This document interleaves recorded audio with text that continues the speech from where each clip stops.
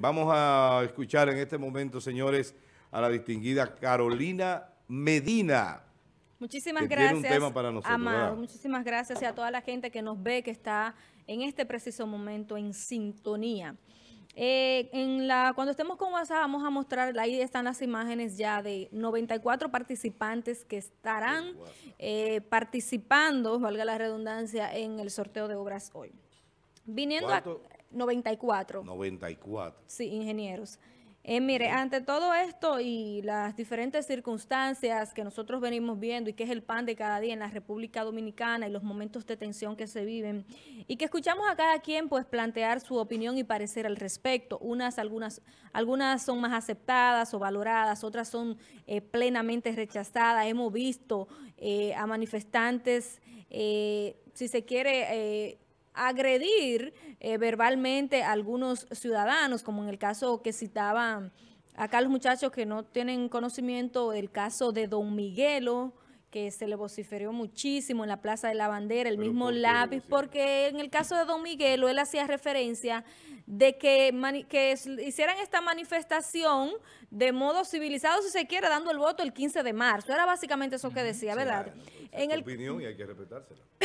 en el caso del lápiz consciente, muy desatinado, él es candidato a diputado, fue en un momento, eh, intentó entrar al mundo de la política, eh, dijo que le dieran 25 pesos a todo el que estaba manifestándose, eh, que le diera 25 pesos, que con eso él resolvía el problema del país. Luego lo vimos a los dos en la Plaza de la Bandera.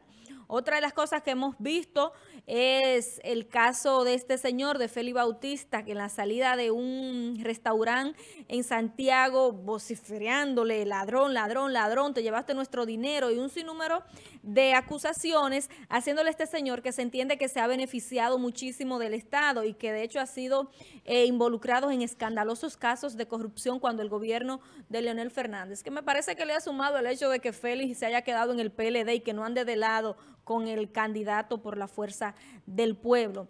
Otra de las cosas que hemos visto son eh, una de las últimas declaraciones del gobernador de Valverde, que quiero poner un cortito sobre esto, de tildar de irrespetuoso a jóvenes que están manifestándose de manera pacífica, de manera ordenada, limpia, y que están diciendo a una sola voz el deseo de un grupo importantísimo de la población, que es la juventud, y que ha nacido de manera natural y que este señor les diga que son unos irrespetuosos, que el 15 de marzo, pues que vayan a ofrecer el voto y demás en un monumento como este, el monumento de la Plaza de la Bandera, donde hace honor a uno de nuestros principales símbolos patrios.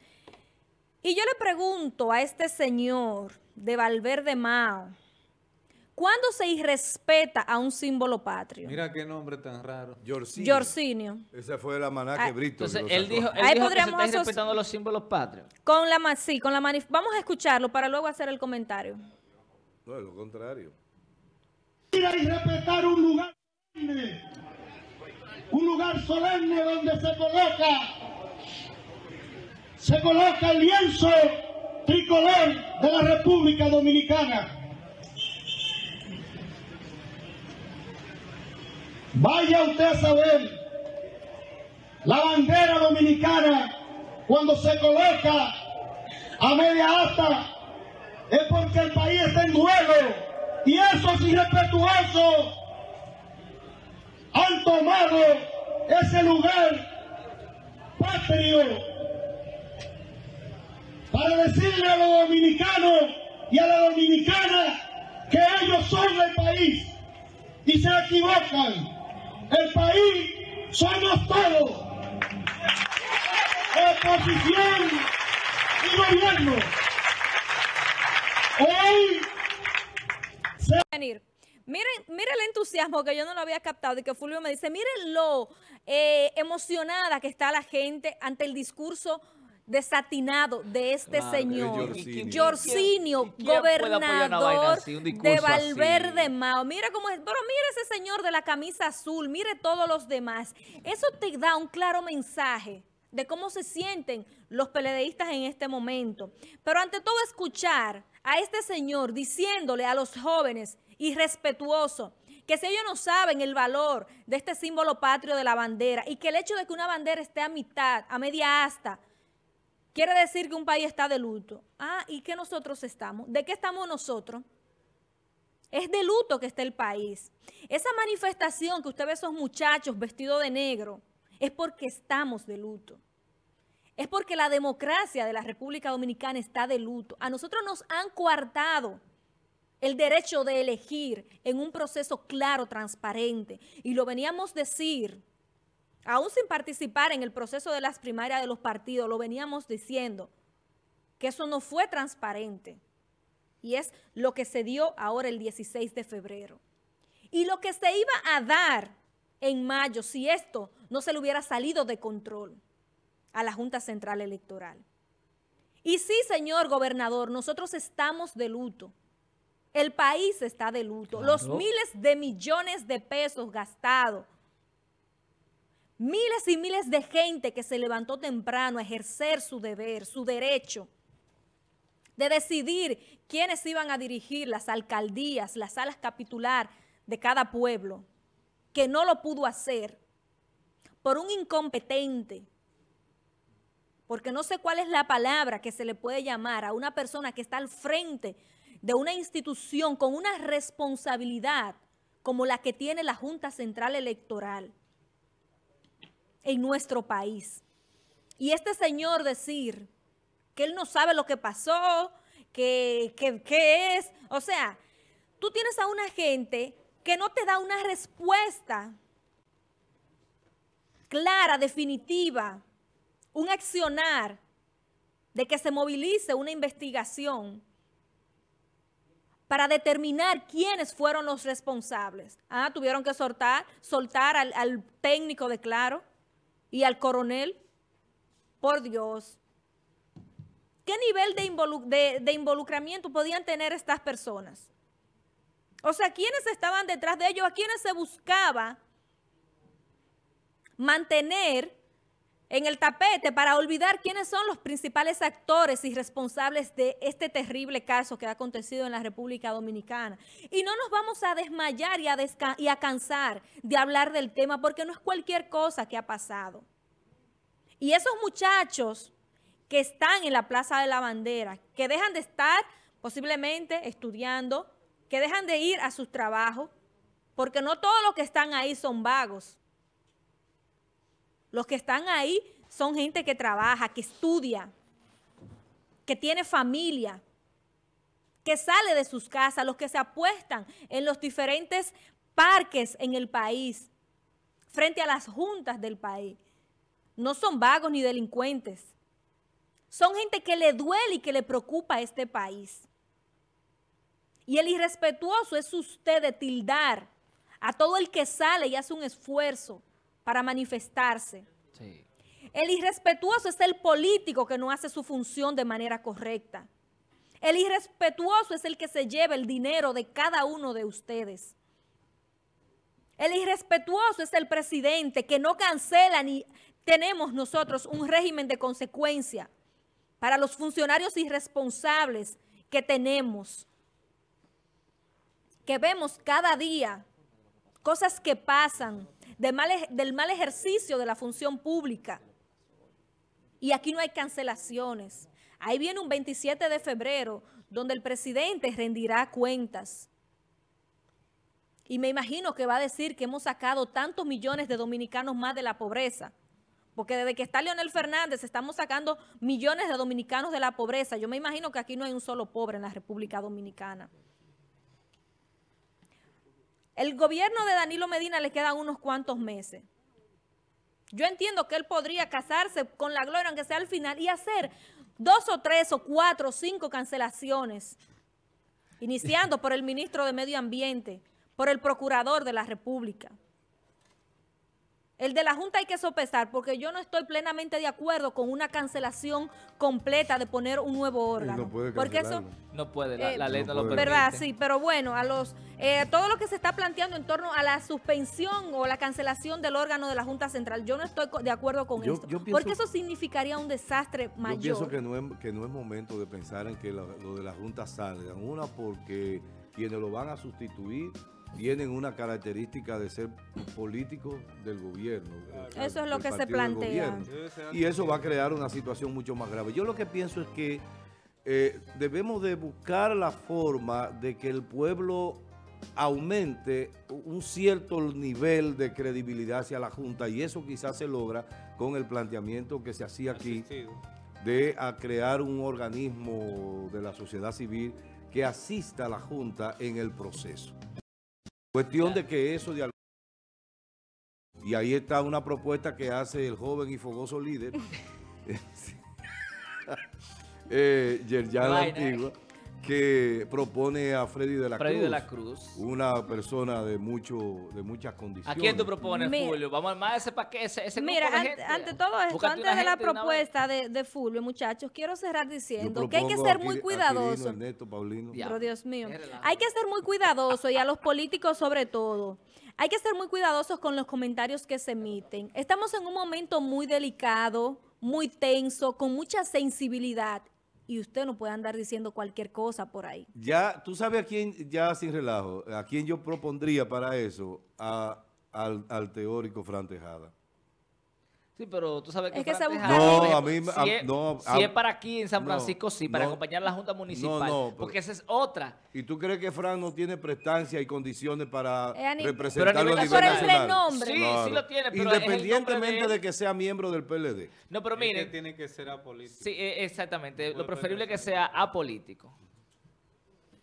WhatsApp. tenemos el WhatsApp, bueno, lo tengo yo. Apolítico, no partidarista. Sí, exactamente. Dice... Eh, bienvenida a Hidalgo de la Villa Olímpica. Eh, bueno, eh, nos manda ahí el casero, la, la, la app del, del, cacerolazo. Gracias, bienvenida. Enrique Martínez. Atención, Enrique Martínez. Esa foto de, de, Manhattan, ¿por qué no abren esa foto? ¿Cuál? ¿Cuál? La que se estaba mostrando ahí un poquito. Déjame ver. La anterior, la, la, la de... Bienvenida. Ah, bueno, vamos a ver. Ah, bienvenida, ah, vamos, a ver, qué es lo que dice bien. Abran la foto de arriba, la de arriba, la fotografía. Eso es Manhattan. La, lo apagaste, Israel. El, dice ahí, es tiempo de recargar fuerzas y mejorar nuestro El cacerolazo. Dibuja una sonrisa en tu rostro y mueve el mundo eh, con tu determinación. Feliz inicio de semana. Seguimos con... Eh, vamos a ver, Enrique Martínez, que nos envió ahí todas las, según en la prueba, atención, Enrique Martínez, de los sorteos, ahí está.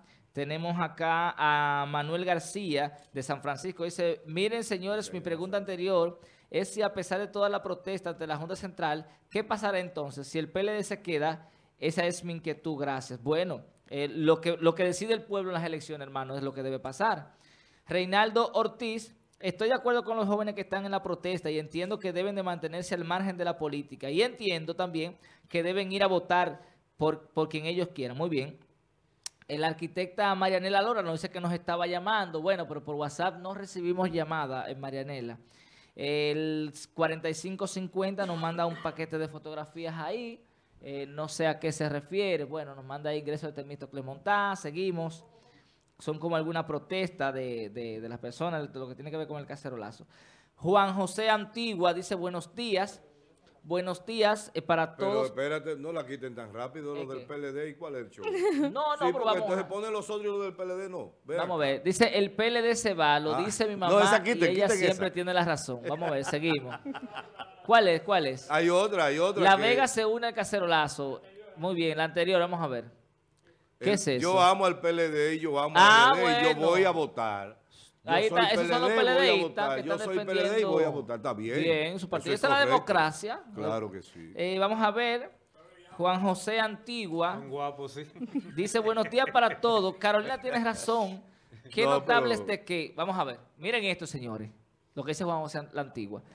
Carolina tiene razón. Qué notables de que son, si son lo mismo de siempre que participan en Odebrecht y que resolvieron nada, ya están desfasados, no son creíbles. Y entonces eh, la antigua, ¿en quién creemos? Aquí debe haber por lo menos 15 personas. Él se, refiere a una serie de personas que mencionan su nombre. No lo mismo de siempre, Que ya no podemos estar pensando en ellos ah, para este No, no, pero que hagan propuesta entonces. Mira, Adriano Miguel Tejada, agrégale ahí. Hay que pensar en... agrégale ahí Adriano, el, del, el, del, el, del periódico... Eh, el Diario por ejemplo.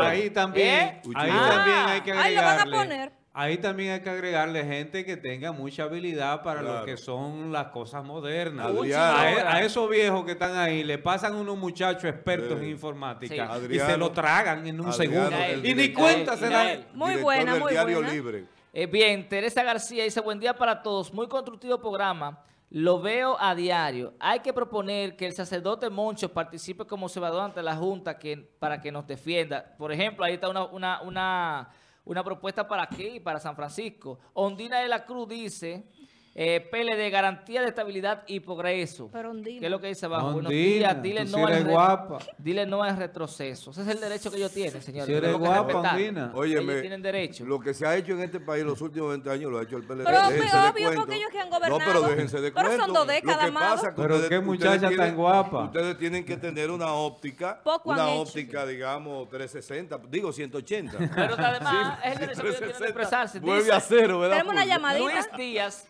eh, tenemos la llamada. Sí, buenos días. Buen, Buen día. día. Búsqueme una obra grande que no la haya hecho Buenos días, le habla Luis 20 años. Jiménez desde aquí, de la ciudad de Nueva York, no, no, Ajá. Es para felicitar realmente al pueblo dominicano y sobre todo a la juventud Sí. de nuestro país que se ha empoderado y le ha dicho un no a todos estos corruptos que nos tienen arropados. Es una vergüenza. Ah. Es una vergüenza realmente lo que nosotros vemos aquí que está sucediendo en nuestro país. En la tierra de Duarte, la tierra que nos dio tanta brega, tantas luchas que esos grandes Sí. patriotas lograron superar para que hoy se le entregue el poder a un grupo que lo único que han hecho es enriquecerse y hacerse ricos de la sálgana del Estado. Quiero felicitar a esos líderes políticos también que se unieron ayer, vi eso bastante bien, sin ningún tipo de simbología, me importa, lo importante es nuestro país. Vamos a enaltecer nuestro país, vamos a dar, vamos a hacer ejemplo de civismo. Lo que esos políticos hicieron ellos es un ejemplo de civismo. Así es que debemos unirnos todos, unirnos en una sola voz y un solo hombre. Y por favor, esas mismas cosas que están haciendo, vamos a hacerle en favor de nuestra frontera, que tenemos nuestro país invadido. Gracias y pasen un excelente día y felicidades a ustedes también. Gracias. Por este Gracias. gran Gracias. programa. Me uno, me uno a ese programa, ¿eh? Gracias, Gracias, gracias. gracias. Pase buen Gracias. día. Anótalo ahí en la- ¿De en la- dónde en la- que en llama? lo- Mire, amigo ¿De televidente, dónde que ese- llama el amigo televidente? eh, eh, a, De- a él, amado, ese número que usted ve ahí, 829-451-3381, agréguelo en WhatsApp y nos escribe diariamente para, lo- para, que, para que haga sus comentarios acá. Perfecto. Así es. Luis Díaz de San Francisco dice, pregunta, ¿los fiscales que están nombrados por cuatro años serán los que van a investigar a los corruptos de esta gestión? ¿Cómo así? Bueno, lo que pasa, Luis Díaz, es que el Ministerio Público se elige mediante un concurso por oposición donde a nadie se le pregunta de qué partido es. Bueno. Es- Voy, a, eh, voy a quitar esa... a- Déjeme- a, Víctor Ureña no lo, de- no déjame, coloco. déjame da- darle un dato a Luis y a todos los amigos televidentes. Como yo fui durante Sí, varios años su director de la Escuela Nacional del Ministerio Público, cuando se abrían los concursos nos llegaban cartas en los, en los, en los, en los currículos, nos llegaban cartas del partido firmadas por el, por el jefe provincial o por el jefe municipal del, de los partidos de- del lugar de donde era el concursante. Y lo que hacíamos era, la, la- la idea era sacar la carta, devolvérsela a esa persona sin decirle nada. Si preguntaba, le decíamos, eso no es necesario, ni es parte de lo que nosotros Así exigimos para entrar aquí. Por eso ahí hay gente que simpatiza con el PRM, con el Partido Reformista, con el PLD, y así es el Ministerio Muy Público. bien. Lo que hay que mantener es ese criterio en el Ministerio Claro. Público. Jesús que, se ha cola- Vargas. que se ha colado gente que no debió de colarse, claro que sí, como en todas las cosas. Jesús Vargas de San Francisco dice que sí va para la marcha del 27 porque hay que enfrentar al PLD. Carolina tiene mucha razón, dice él. Y Luis Antigua dice, ¿cuánto me alegro de ver a Carolina con tantas agallas rep- repugnando o repudiando será todo lo malo de este cochino gobierno?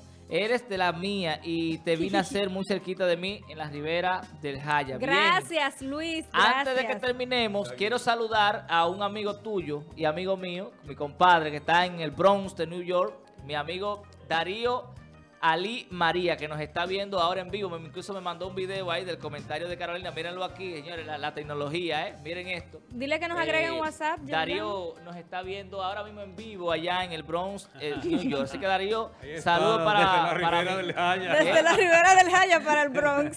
¿Verdad? Eh, no, él, él vivía aquí en La Sánchez. El compadre Darío era de aquí de La Sánchez. Así que, señores, de- desde La Sánchez para el mundo, en el Bronx, New York. Qué Saludos para bueno. Darío Ali. gracias. Por Bueno. último, el 7462 dice, "Buen- buenos días, excelente programa, yo apoyo la marcha negra, pero no voy porque solo van los políticos de otros partidos para ganar más votos, ya es un negocio. Bendiciones, dice ese amigo televidente. Bueno. Bien, mis amigos, vámonos a la pausa entonces. Hay que No, amado. ¿Eh? Ya, a Ya ese no ¿Nos amigo- vamos? A ¿Se ese acabó? amigo. No, ¿quién ha dicho? Revisen los relojes a ver. Señores, que este programa es demasiado Ay, bueno. El tiempo se va, ¿eh? Nos vemos mañana. Se- de mañana.